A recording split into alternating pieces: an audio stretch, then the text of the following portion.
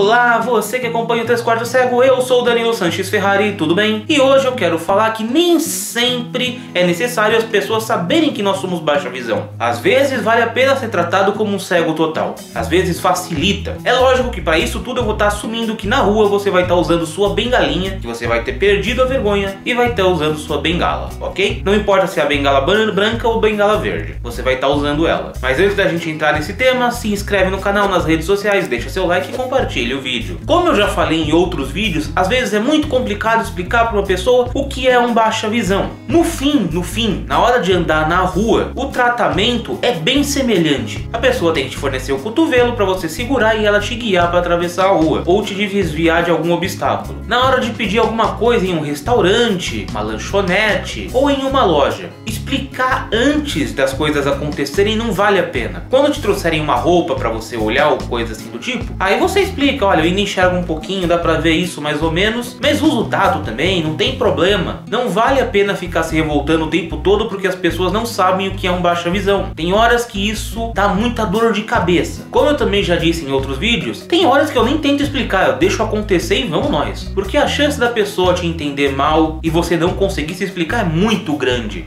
É só para atravessar a rua, a pessoa não precisa saber o quanto você enxerga. Se é um garçom em um restaurante, ele também não precisa saber o quanto você enxerga. Você pode perguntar o que tem no cardápio para ele. Se você souber braille, melhor ainda, porque alguns restaurantes têm cardápio em braille. Mas no fundo, no fundo, o garçom não precisa saber realmente quanto você enxerga. Um vendedor de roupas vai acabar percebendo quanto você enxerga quando ele for te ajudar, te entregar a roupa na mão e você vai acabar olhando. Ele vai perceber a sua dificuldade em olhar aquela roupa ou não. Eu tô falando de roupa, mas não se aplica só necessariamente a roupa, se aplica eletrônico e tudo mais. Mas tem horas sim que é, vale a pena a gente lutar para que as pessoas entendam o que é um baixa visão. Quando a gente fala de audiovisual, games, filmes, séries, pra gente poder entender o que tá acontecendo na tela, que os jogos que funcionam para um cego não funcionam totalmente bem para um baixa visão, porque um baixa visão não tem a mesma capacidade auditiva de um cego. Eu tô passando isso com Blind Legend. Acredite ou não, outro momento em que não vale a pena as pessoas se diferenciarem com baixa visão e cego é na hora de assinar documentos. Pelo menos no meu caso, eu já não consigo mais enxergar a linha no papel e não tô vendo o que eu tô assinando. Então vale muito mais a pena escrever como um cego faria do que tentar enxergar aí como um baixa visão. Na hora de adaptar coisas pra gente que com alto contraste tem que ser levado em consideração,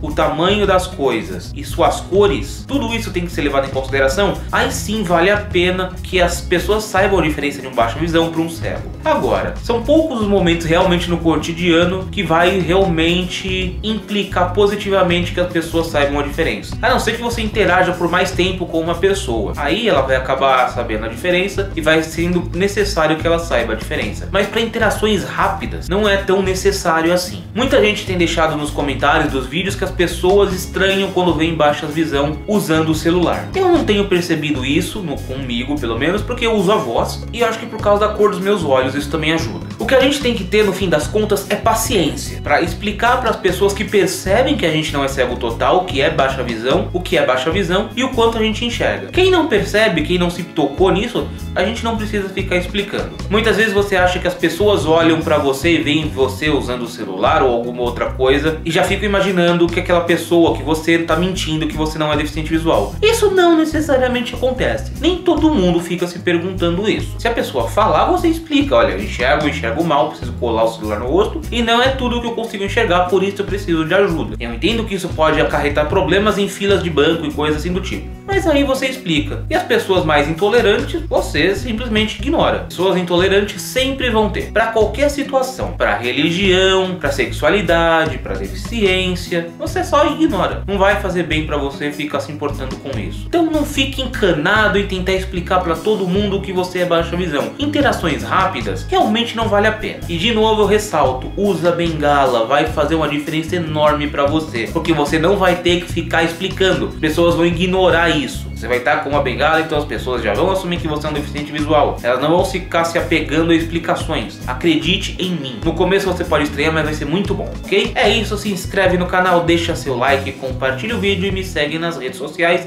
Lembrando que eu quero chegar até mil inscritos no dia 19 de janeiro de 2018. Vamos lá, a última vez que eu olhei a gente estava com 623. Eu acho que a gente consegue, se a gente aumentar um pouquinho esse ritmo, beleza? Vai ter brinde. É isso, muito obrigado e falou!